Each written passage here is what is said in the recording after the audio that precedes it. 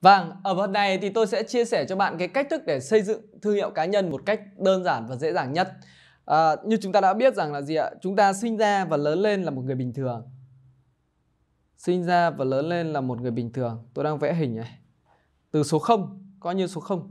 Mình chỉ biết cười, biết khóc. À, nếu như người nào đó may mắn sinh ra trong một gia đình nhà giàu, có truyền thống, có giá trị thì họ để lại được rất nhiều thứ. À, nhưng người nào có phần lớn chúng ta vẫn là tay trắng hết, không có gì cả dù gia đình chúng ta có giàu thì mình giàu lúc bấy giờ còn khi chúng ta lớn lên còn rất nhiều thứ phải lo. Thì chúng ta tôi thường nói là từ số 0 nhưng qua quá trình qua cái uh, quãng đường mà mình sẽ đi có đường mình học tập mình có đường làm việc và gặp những người thầy gặp những người chỉ lối gặp những cái nguồn lực hỗ trợ chúng ta có thể trở thành những người tuyệt vời hơn vĩ đại hơn. Uh, có người thì sẽ trở thành ông này bà kia nhưng có người thì à, sống một cuộc đời à, bình thường thậm chí là tầm thường. À, sáng đi làm tối về sáng đi làm tối về sáng đi làm tối về và sống qua ngày chờ qua đời. Nhưng có nhiều người thì họ sống một cuộc đời được gọi là người hùng uh, hero. Hero là một kiệt tác. Thì tôi nói là từ hero to hero. Hero to hero từ số 0 trở thành người hùng.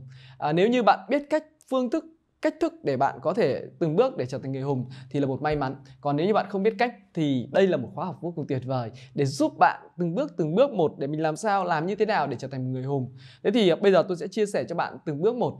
Việc đầu tư việc đầu tiên thì uh, việc số 1 uh, ờ, tôi cần bạn tôi cần bạn đó là gì ạ? Đặt mục tiêu. Đặt mục tiêu. Đặt mục tiêu. Mình sẽ phải trở thành ai trong tương lai? Những người có thương hiệu thì họ từ bé họ đã có mục tiêu trở thành ai đó trong tương lai của họ. Có người thì mơ ước trở thành phi công có người giáo viên có người bác sĩ có người thì trở thành một doanh nhân thành đạt có người thì trở thành một uh, uh, nghệ sĩ violon rồi có người trở thành một họa sĩ. Thì họ đều có một mục tiêu từ bé vì khi có mục tiêu thì chúng ta mới bắt đầu rèn luyện, phấn đấu để chúng ta đạt được cái mục tiêu đó. Giống như nếu như tôi đang ở hà nội mà chúng, tôi không có mục tiêu vào sài gòn thì chắc chắn tôi sẽ rất khó để để vào đến sài gòn.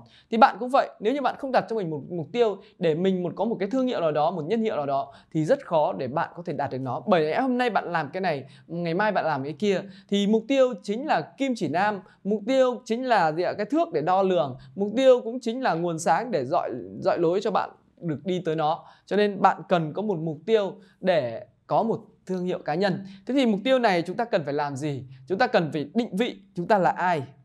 Định vị mình là ai? Mình sẽ trở thành ai?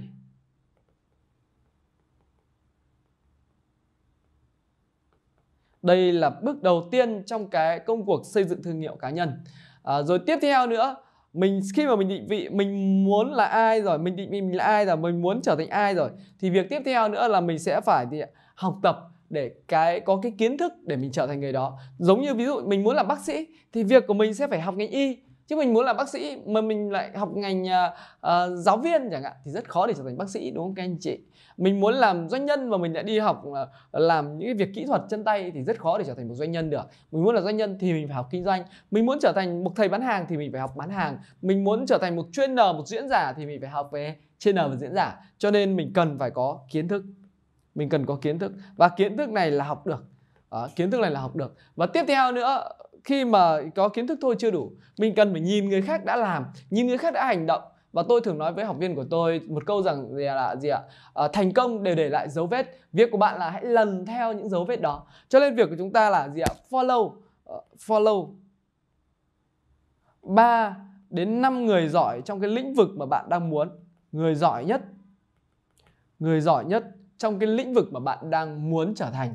Ví dụ như tôi muốn trở thành một trainer thì việc của tôi là gì ạ? Phải follow 3 đến 5 cái diễn giả hàng đầu Việt Nam. Và đó là những cái bí mật của tôi. Ngày hôm nay tôi muốn chia sẻ với các bạn những điều đó. Bạn muốn trở thành người bán hàng giỏi thì bạn phải follow, phải tìm kiếm, phải chơi với 3 đến 5 người bán hàng giỏi. Và chỉ chơi thôi chưa đủ. Bạn phải trở thành bạn của họ trở thành đồng đội của họ, trở thành học viên của họ thì lại càng điều tuyệt vời.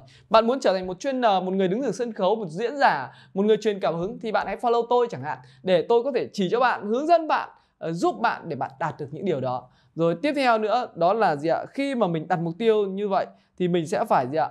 Phải hành động. Chỉ có hành động thì mới có kết quả. Bạn sẽ hành động hành động để tạo ra một cái kết quả tuyệt vời.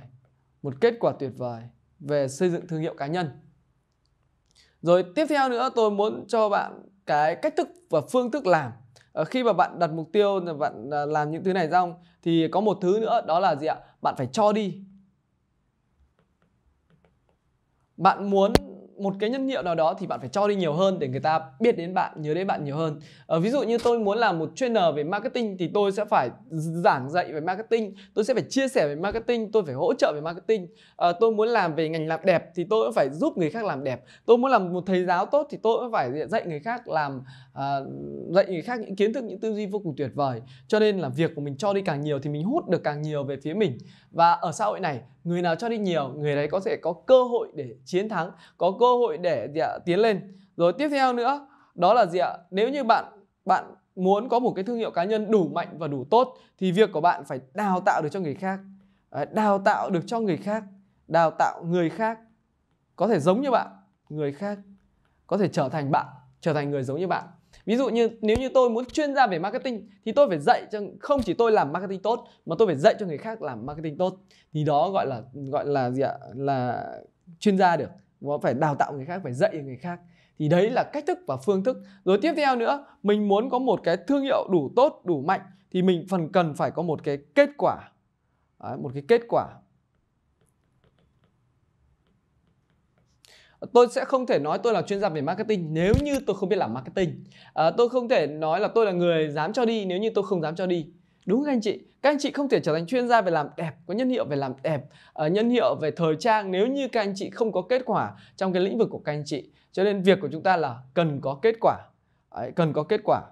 Thì đó là tôi muốn chia sẻ các anh chị vài một vài bước là how to làm như thế nào làm như thế nào để chúng ta có từng bước và bây giờ thì chúng ta sẽ chuẩn bị đến bài tiếp theo.